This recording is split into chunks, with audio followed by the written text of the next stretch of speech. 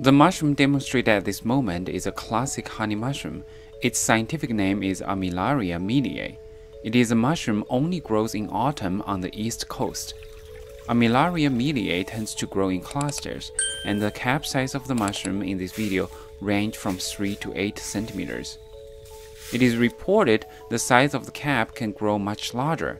The stem of the mushroom is in general 10 to 20 centimeters when it matures. In the northeast of China, this mushroom is a highly treated edible mushroom and is an iconic mushroom for a regional dish called the jumbo stew of chicken and mushroom.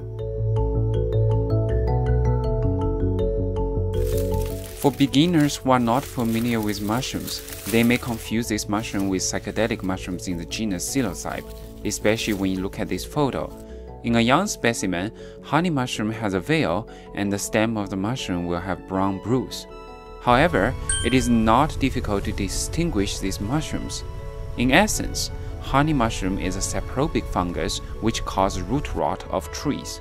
When it is young, the mushroom cap and stems are texturized, but these patterns will fade away in old specimen. It generally has a yellow-colored mushroom cap, and sometimes the stem may bruise gray or light brown at the base. What differentiates this mushroom from genus Psilocybe is the spore print. Honey mushroom should always deposit white spore print, and this is a characteristic feature. In addition, the gill of honey mushroom is white and sometimes with a hint of light yellow. Hello guys. Um, wow, this is such a weird position. Uh, I have to stay here because it's a hill, so I'm lying on the ground and I want to introduce you to this beautiful mushroom. They are in the genus Armillaria and I believe this one is because it has a ring here so it could be uh, most probably the Armillaria mellea. Uh, the common name of this mushroom is called honey mushroom and they are bad guy because they parasite, they are parasitic mushroom cause the root rot of trees. This mushroom is a fall mushroom. They grow at the end of mushroom season. That means that when they start to grow, it means that the mushroom season is going to end.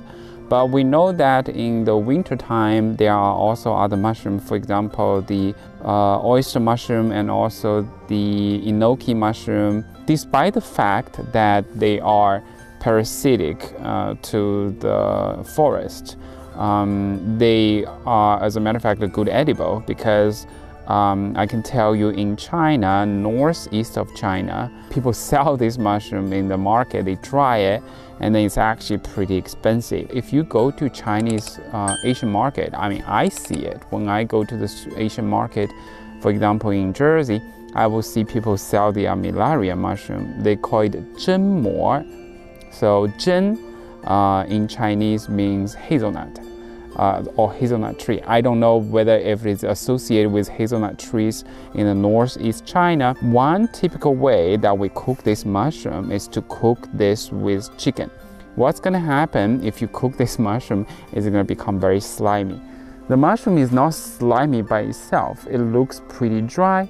So when you cook the mushroom in the soup, uh, the polysaccharide will be extracted in the water and then it will form a very slimy soup. I don't know whether you're gonna like the taste. I think in America, not many people eat it. Another thing about this mushroom for the edibility is that this mushroom uh, will cause some allergic reaction to some people.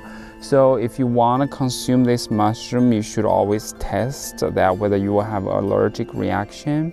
The mushroom doesn't have much smell. And let me have a nibble. Let me have a quick bite just for the raw mushroom. How it taste? Mm. I know why Chinese people think it is delicious because the texture is very good. It has, um, it's like kind of like crunchy. I love mushroom with a lot of texture. This one has very good texture. It's kind of crunchy, stiff. When you bite it, you feel it's like, mm, oh, remember it's the wood ear mushroom I talk about. It has this crunchiness. So this one is also the same. And uh, it doesn't have any taste. I think I taste a little bit sweetness so if you come to the forest, you see this mushroom, uh, if you can correctly identify it, it's definitely worth picking it up.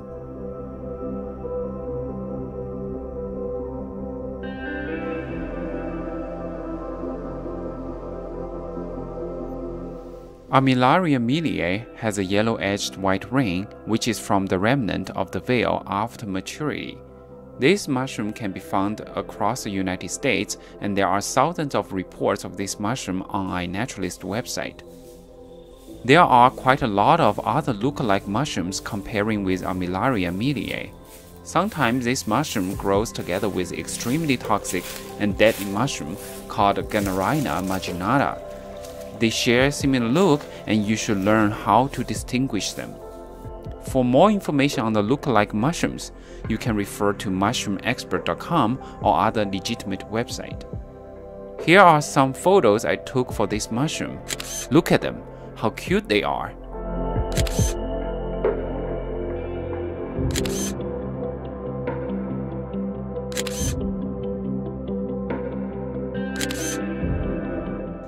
If you like this video, please click the like button and subscribe. Your support will help to spread the knowledge of mushrooms and maybe to inspire people to build a better world. Thank you very much for watching. See you next time.